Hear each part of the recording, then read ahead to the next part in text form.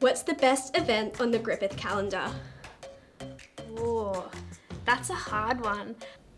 Holidays. That's a tricky one because there are a lot of a lot of really really fun events. There's a Greek one where everyone dressed up. Toga party at the toga party. I think it's the Halloween party.